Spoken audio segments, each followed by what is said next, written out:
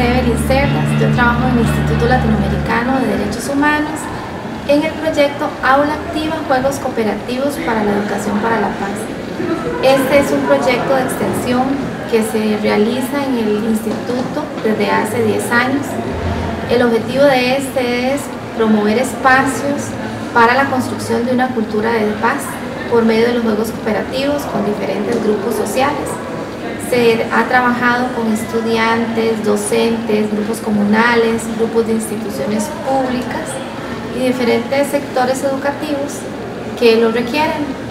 Nos enfocamos en trabajar, entre otras actividades, por medio de talleres lúdicos, participativos, vivenciales y divertidos que promuevan un aprendizaje significativo en temas como la no violencia, la transformación pacífica de los conflictos, la comunicación asertiva, los derechos humanos y otros temas vinculados con la construcción de una cultura de paz.